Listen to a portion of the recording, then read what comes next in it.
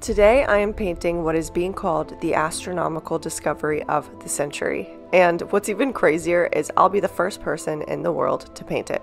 Now, I normally don't directly replicate space images, so I would love to hear your thoughts on this piece. For the last 134 years, people have been taking photos of the Andromeda Galaxy, missing this massive nebula, which is now being called the Oxygen 3 Arc. What you're looking at is an absolutely massive low surface brightness arc in oxygen gas. This was completely unknown until a couple of months ago when a group of people discovered it.